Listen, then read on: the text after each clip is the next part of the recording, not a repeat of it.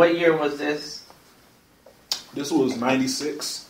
That's when I went to. That's when I first went to school, to uh, college, and I was there till I guess about '98, '99. Uh, yeah, And I had my daughter around that time too, so that also made the decision to drop out a little easier. yeah, yeah. In the nineties, uh, yeah, the computer was really hitting strong. Yeah. I know I heard about computer illustration in '91.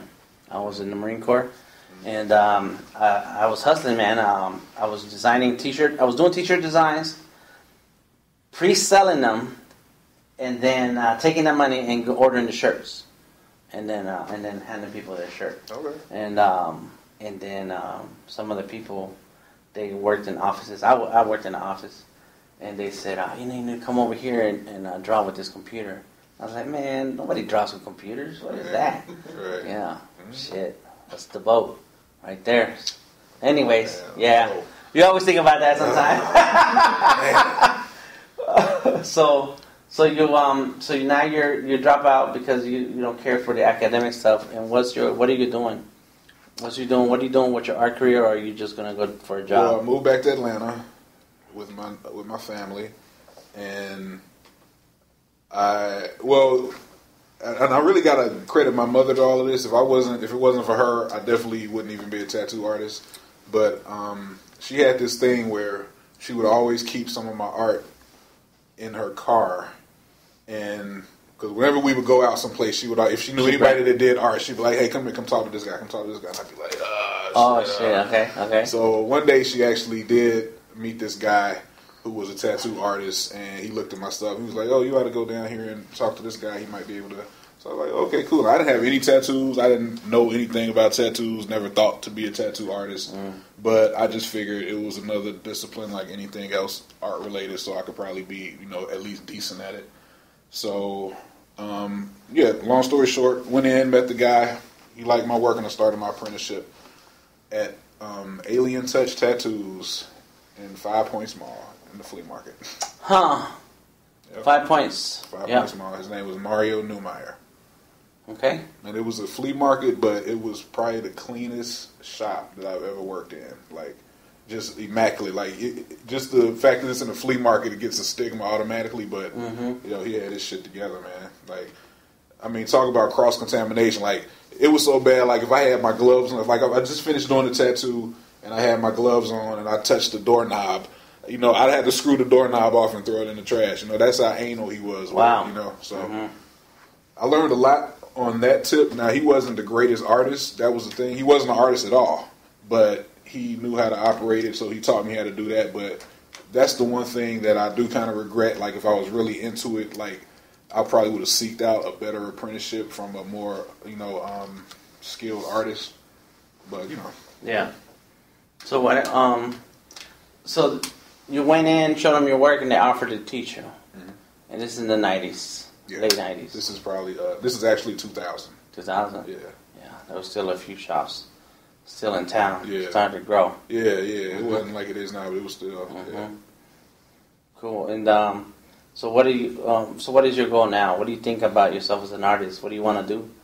You just um, jump into tattoos and you're cool, or where did the idea for comics and paintings come from? Well, um, the comic book actually, if I didn't, if I never became a tattoo artist, the comic book never would have happened because that was the whole thing that sparked the idea. Where the, you know, what I'm saying the customers that I would meet, the scenarios I would be in, that all came from doing tattoos. So if I didn't tattoo, I definitely wouldn't be doing comics, which is what I want to do. Tattooing right now for me, I'm a little burnt out on it in general, just because. I mean, it's been about 15 years, and I feel like that's a long time to do anything. You Yeah. know, just solely do that one thing. yeah. So I'm kind of, I'm really burnt out on it, man. Like if I don't have, if I didn't have to do it, I wouldn't do it at this point. You know, um, I would focus solely on my book and storytelling because that's really, that's really, really what my passion is. And tattooing is nice. It just pays the bills pretty good right now, and for a while.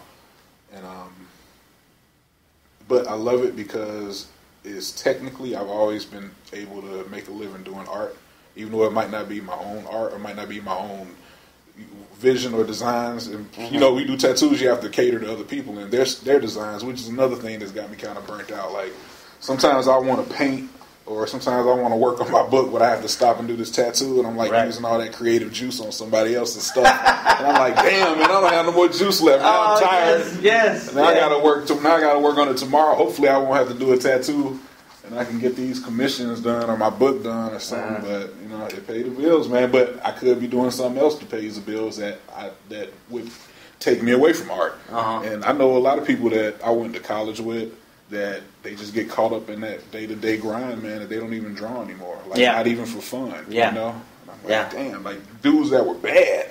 I'm like, you don't even do it anymore, you know. So I'm just grateful for that. Like, even though I'm doing other people's stuff, I'm still my hands still moving every day, you know. yeah. So So um, so tattooing. That's how my my tattooing. Uh, they started. People art. They kept telling me they'll go uh, check out a tattoo shop, go over here, go over there, and I'm like, nah, nah. I wanted to do comics, right, and um, that's not. I came to Atlanta just to survive somewhere else outside of LA or the Marine Corps, and um, but but I wanted to find a way to to draw comics. I didn't know anything about it, and somehow tattooing was it. They, they, they um, a friend of mine drove me to a tattoo shop, and uh, Western Tattoo, and he dropped me off in the front. He said you should go in there and show him your work. And I always carried my portfolio all the time. I always carried um, my uh, drawing book and pencils and stuff, and so I did. And they asked me, uh, so they looked at my work, and old girl. Um, what was her name? Forgot her name. Um, uh, Julie. She looked at my work. She said, "You want to learn how to do tattoos?" And I said, um, "Sure." I didn't really think about it as a serious thing, you know. Right. But yeah, but it's art, it's drawing, and it pays bills. yeah, yeah. yeah. And every now and then you get to do some stuff you really like to do. Right, you know? yes, It's not yes. all bad, you know. right, right. So I still do tattoos today, and, and that was for a long time. I was burnt out, yeah, and that's why I shut down the shop. okay. um, and because I didn't feel like it anymore. And uh, but but uh, the people don't leave you alone. Right. Your clients, you know, even if it's once a year, they'll call you, Yeah. and, uh, and you're like, you know what, I'll, I'll take some of that money. It's hard to be like, no, I don't want that money. You know. Yeah, uh-huh, yeah. and then, uh, but then now you pick and choose, you know, Mm-hmm. the, the ones you're gonna do, and the ones you don't want to do, you charge them extra. Right. And Oh, if they pay, then okay, now I guess I gotta do this now. Um, um, Right. You'll be like, damn, I would thought you was gonna say no. yeah, I thought I was out of his budget.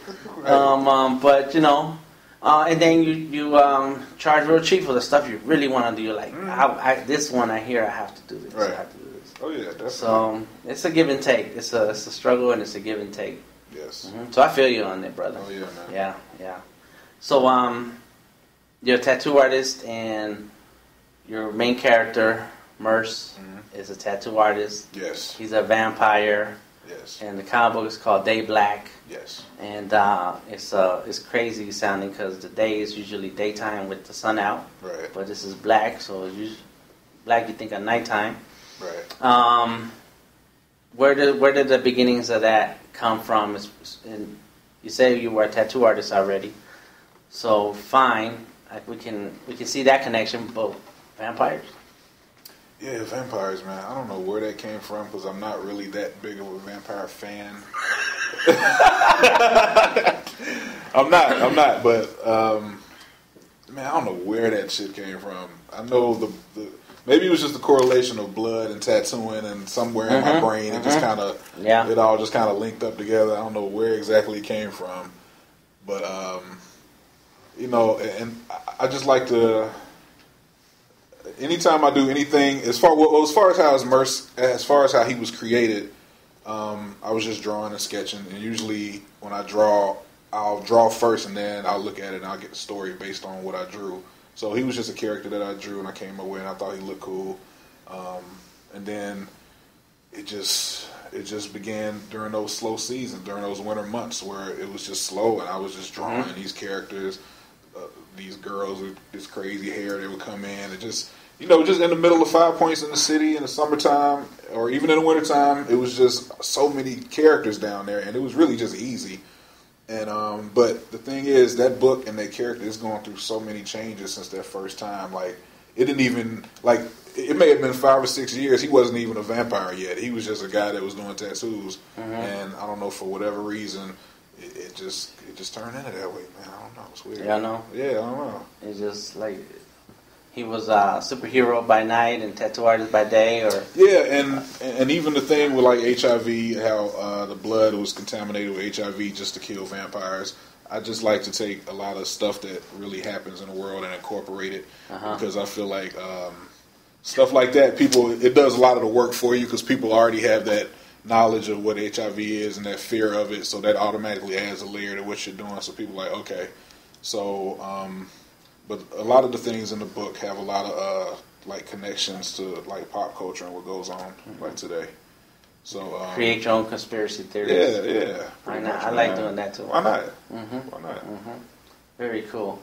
And um, and so now, so for for for years, you, he was just a character you drew, and then the day decided the day came when you decided that he's a vampire, Yeah. and then there's a story that goes with it, and and when did you say to yourself, "This is gonna have to be a comic book"? Let me start start drawing it now. Right.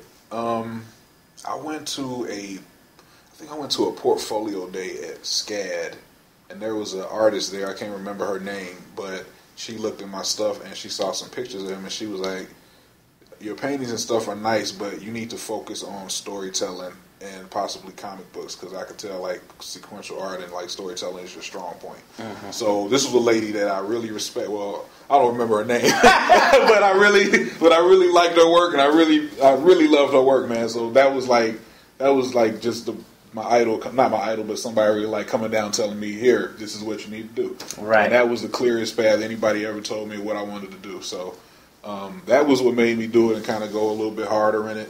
And um, but I was just so mad 'cause I was like, damn, I took that uh, fucking uh, comic book class, but I don't remember any of the shit that they told me because I was like, I don't want to do this. I don't. I'm just gonna do it. I don't want to do it. Uh-huh. So, uh, so a lot of the stuff that I do, and which I really think why the book looks like it does, because a, lot of the reviews that I get, a lot of people say that it does, I don't approach it the uh, normal way that you do comic books, and mm-hmm. I think that's part of that is because I don't remember what the hell they told me to do. Mm-hmm. But even though I read comic books as a kid, I just didn't want to.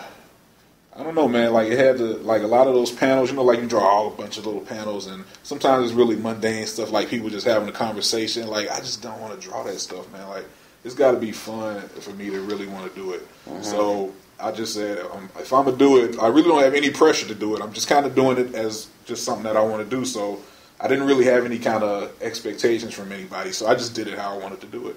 Some pages are just full illustrations. It might be two or three pages in a row like that, where it might read more like a like a kid's storybook instead of like a traditional comic book. You know? Yeah, yeah. So it, that's and it's worked out so far, man. So you know. What uh, what kind of training did you um, seek out when you were writing your story as a writer? Well, I was always a big, always a big movie buff.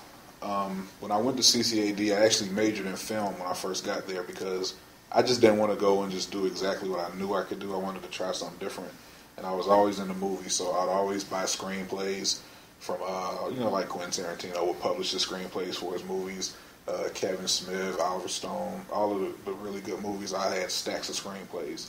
So um, There used to be catalogs where you can buy them from. Yeah. I remember uh, ordering stuff like that from magazines. The back of a magazine Mhm. would sell you screenplays and stuff. Yeah, yeah. Mhm. And I really don't even think I don't even think that really got big until Quentin Tarantino came out because I think when he won the Academy Award for Pulp Fiction, it's just like it just kind of blew the doors open for a lot of stuff in general. And um, and for me, that movie just really just changed my expectations of what a movie could be. It it, it, it just wasn't just going to the movies just for like oh, I'm going to a movie. Now it was like really serious, and that really had an impact on me and my storytelling and my sensibilities and everything like that. Like that movie right there is like pivotal, pivotal for me, creative, creative wise. hmm So, um, and So you had a guide for how to write a script. yeah, I did. And even though I wouldn't write a script till like years and years later, but um, I, I, I always like to write. I just don't like to physically write because it just,